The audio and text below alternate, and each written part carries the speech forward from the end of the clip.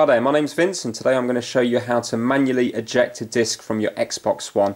So for example, you might have had a power cut or your, your Xbox might be playing up and you need to get the disc out. It might not belong to you, it might belong to a friend and you need to give it back to them and you can't get at it. Now the first thing to do is do a full power cycle just to see if that solves the problem. And if it doesn't, then you're actually going to have to manually eject it. Now you are allowed to do this. Xbox actually have a little, uh, a little hole in the side of the, the console that allows you to manually manually eject it. So there's many ways of doing it. You can use, for example, a needle, small needle, or you can use a, a large paper clip, not a small paper clip. But I think the best thing to use is a 1.5 millimeter Allen key, also known as a hex key. Okay, now they're not expensive. You probably already have some of these, or your dad might have some of these, or your neighbour might have some of these. But uh, for example, this uh, lot here was just from the pound shop. Now they're not good quality at all, but they're fine for doing this job. So if you were actually using for Allen keys, then you might struggle a bit because they'll probably just get rounded. But uh, they're fine for this. But annoyingly, it has to be really small. So the 1.5 millimeter one is perfect in this instance. So if you have a look here you can see the 1.5 refers to the actual thickness of the Allen key. Yeah. Now this is a nice uh, this is a nice long one, but the small ones just about work as well.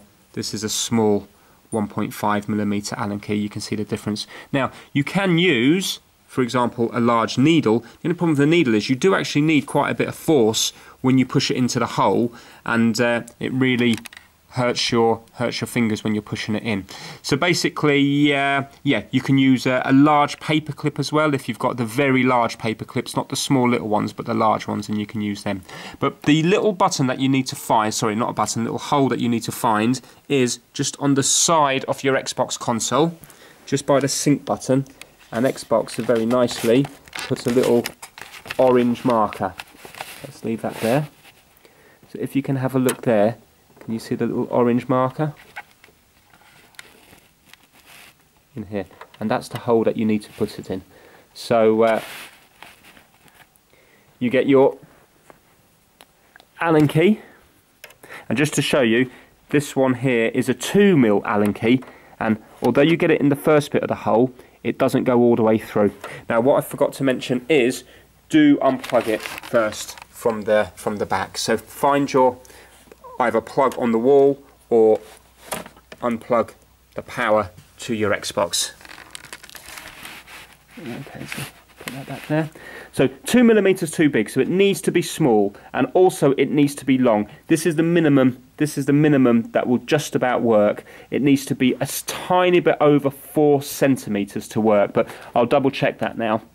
So what you do is you put it in here, and at the moment it feels like it's stuck. You need to wiggle it around just a little bit until you find the actual hole. So I'm not in yet. And now when you get the hole, it becomes a lot less wiggly because when I'm out here, it moves around quite a bit. But then when you put it in there, you feel it there. So you can probably just hear it going in the hole there. So now I'm in the right hole. And if you have a look, it's nice and, the Allen key's nice and straight there. And also pretty straight here as well so it needs to just go in straight. And then what you do is move this back here zoom out a bit. You have to use quite a bit of force and you just push in like that. And while you push it in there the disc just come out the top there. Okay so when you push it in it actually just pushes out the disc and that allows you to pull it out. Yeah? To retrieve your disc. Okay? So just to show you so when you push it in you'll probably see the Allen key will come out a bit so you can push in, push in like that. Yeah. So what we're going to do is I'm just going to put a little marker here just to see how much you do actually need to push it in. Okay. A little marker there. So you're going to need to insert something at least, what's that, just over 4 centimetres, yeah? About 43 mil. Okay, so let's just try it with this small Allen key here. I'm just going to push it in just manually. My Xbox is off at the moment. Just to see if this one does work. So again, find the hole. There. And as you can see, that's gone to the very, end of its travel, but it's just worked. Can you see there? It's just popped out. So it definitely can't be any smaller than that. Yeah. And as I say, you can use, for example, a needle, because you're, you're probably going to have a needle somewhere around the house. You can use a needle, but the only problem is on that first bit, it's fine now because it's already been loosened, but on that first bit, it's really hard to push in, so you'd need to get a cloth or something like that to, to put over it. As you can see, that works there, so it's nice and uh, nice and easy. So that's it. So what you're going to have to do is get yourself a, a 1.5 millimeter Allen key, which is at least 43 mil long, just over four centimeters long. Okay, and uh, yeah, that's it. I hope you found it useful. Thanks for watching. Bye now.